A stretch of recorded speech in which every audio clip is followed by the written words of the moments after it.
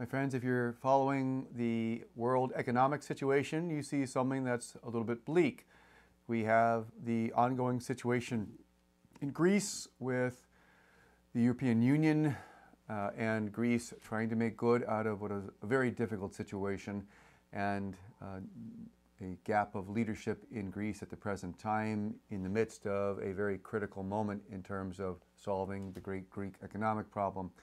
We have the world's second largest economy, China, in not only a sputter, but a bit of a spiral. The government is trying to infuse money into the private sector. That's not working which is causing uh, ill effects on the overall global economy, including uh, the US stock market. What's fascinating about this, my friends, is this was predicted 60 years ago. I invite you to look into the messages, the church approved messages of the Lady of All Nations. In the early 1950s, Our Lady was saying things which are happening today. For example, Our Lady warned against quote, currency wars. Now, currency war wasn't even a concept in the economics of the 1950s. People thought, well, what, what does she mean by currency wars? Well, now we're seeing currency war as currency wars as places like China purposely devalues its its currency, its yen, for an international advantage. Uh, she also, Our Lady now, uh, gave predictions back in the early 1950s about a worldwide economic crisis. She spoke about boycotts between the United States and Europe, which happens in a time of, uh, in a form of a type of financial uh, nationalism when things are not going well with one's country and they hesitate to buy imports.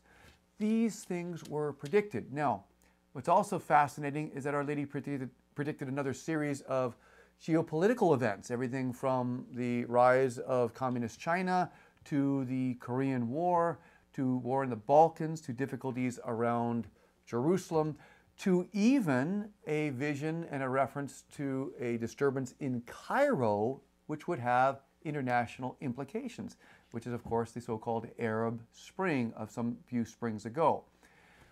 Why so many concrete, specific prophecies? To get us to believe in the credibility of these words based on economic, geopolitical, social reasons, and then to accept and understand and act upon her spiritual action step. And what's the spiritual action step of the Lady of All Nations? That the Pope would proclaim a dogma, a dogma regarding Mary as the co-redemptrix, mediatrix, and advocate, as the world's spiritual mother in the order of suffering, in the order of spiritually nourishing, in the order of intercession. In the message of the Lady of All Nations, once again, approved as being of a supernatural origin, May 31st, 2002, Our Lady says that only with the dogma will there be peace in the world, in her May 31st, 1954 message. My friends, I strongly recommend for you with all the things of investigation and, and education in terms of uh, technology and health and otherwise, I ask you to spend a few minutes to educate yourself in the Lady of All Nations. And as a starting point, you can either go to the message of the Lady of All Nations, go to uh, ladyofallnations.com, or a site called peacethroughawoman.com. For those who prefer a DVD summary, there is a wonderful 30 minute documentary which is narrated by none other than Martin Sheen, which explains the messages of the Lady of All Nations, including what's happening right now, the economic global situation, uh, other geopolitical events that have taken place that she predicted, uh, as well as the connection between the dogma and world peace. Go to peacethroughawoman.com and you'll see on the home page the video, the documentary, Peace Through a Woman, narrated by Fulton Sheen. It's a 30 minute investment. It will give you a fascinating new appreciation of what's happening today. And more important than that, the remedy that Our Lady is the remedy. That peace through the world has to come through her, and that will only happen after she is proclaimed as the world's spiritual mother.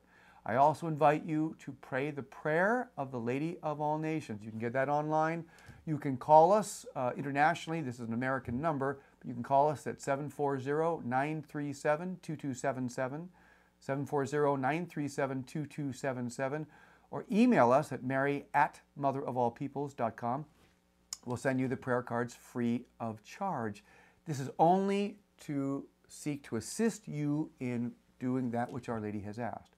The last thing Our Lady asked at the message of the uh, approved message of Amsterdam, the message of the Lady of All Nations, is to petition the Holy Father.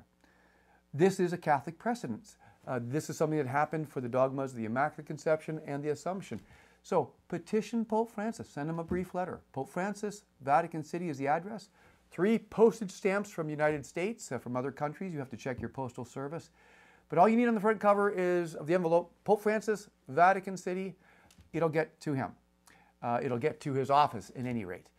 Let him know that you support his proclam- proclaiming the fifth Marian dogma. You support him fulfilling what Our Lady has asked with the proclamation that Mary is the world's spiritual mother, the co-redemptrix, mediatrix, and advocate, or that you're praying for his discernment, however the Spirit leads you to address the Holy Father.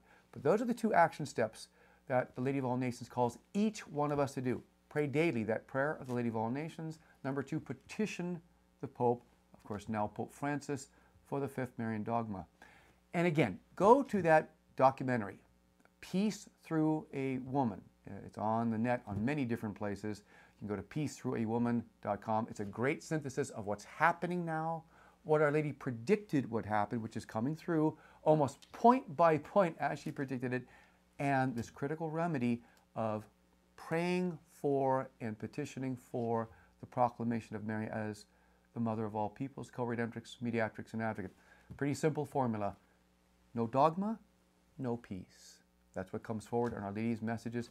That's what we want to work on and doing our part to bring, uh, to bring forth the peace of the world that we desperately desire and Our Lady desperately desires to give to us. Thanks. God bless you.